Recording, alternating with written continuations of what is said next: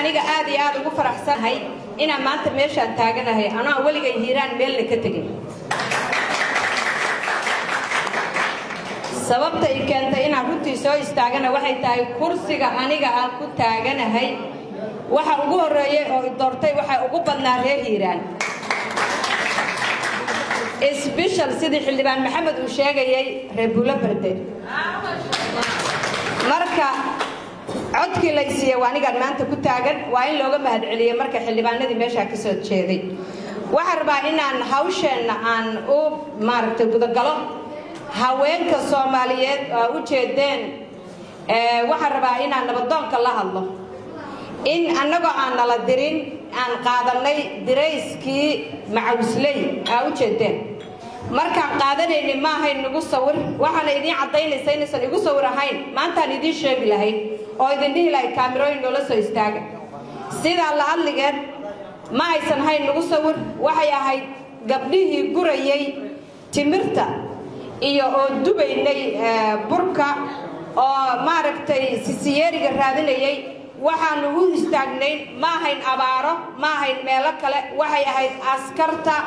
Hadday macawisley tahay iyo haddii ay yihiin maxaa la dhahaa ciidankii qalabka siday oo meesha idinla dagaalamayay iyo dhallinyaradiina inaa idin soo garab istaagnaayay ahayd waxaa u taagnayn. Midda labaad aan rabnay inaa idiin sheegno waxay tahay anigu waxaan ka turjumayaa maanta baarlamaanka. Waxaan aad ugu faraxsanahay inay lix xildhibaan ila joogaan. Oo wasiiradda ka mid tahay macalimo labada xildhibaan habdhowraha waxaan rabaa inaan inta ka caddeeyo haddaan nahay baarlamaanka saddexda boqol iyo soddonka ama sanatara ha ahaadaan ama golaha shacabka ha ahaadaane inta uu socdo dagaalku inaan u goyn doono lacag ciidamada dagaalamayo cadowga ku socda. Awoodda ma lihi ani inaan qararo lacag intaa tiro leeg sababta guddoomiyaa jira xildhibaanadana waxaan ka codsanayaa inay ila baasgarayn doonaan. Maalinka lagu dhawaaqo lacagtaas inayna soo garab istaagaan. Hadday sanad socoto iyo hadday lix bilood socotoba baarlamaanku inuu jari doono lacag ilaa iyo intaasoo aan garabkiina taagan lahay wax ka weyn oo geeskiina aynu ku istaagi lahayn ma jirto. Waxaan rabaa inaan inta uga faa'iidaysto oo t v-ga iga arki doona. Gabdhaha reer hiiraan ee jooga yurub oo jooga north america oo jooga carabaha inay ismuujiyaan oo u istaagaan oo gabar walba ay iska goyso lacag. Oo ay soo garab istaagaan hiiraan waxaan ogahay inay ku filan yihiin. Gabdho wada shaqaysta. Sbeshal aniga waxaan ka imaaday maraykanka minneabolis way wada maqlayaan gabdhaha reer minneabolis oo reer hiiraana inay soo istaagaan baan rabaa. Inaa inta magacyadooda ka sheeg sheega ma rabo. Sababtoo aad bay u badan yihiin. Inay istaagaan inay lacag aruuriyaan inay akaan furaan. Waxaan rabaa inaan tusno ragga nooma ogolo jagooyin laakiin inaan tusno inaan dagaalka inaan qayb ka noqon doono oo sabani barsanta ida ka noqon doono hadday dhaqaalo tahay hadday garab istaag waxaan inta rabaa inaan uga mahad celiyo. Laba xildhibaan oon aad ula diriiri jiray oo laba gabdhood soo bedelay maanta way joogaan. Labadaa xildhibaan dirayskooda waxaan u soo xirtay wallaahi oo aan la rabay inaan garab istaago waa xildhibaanada.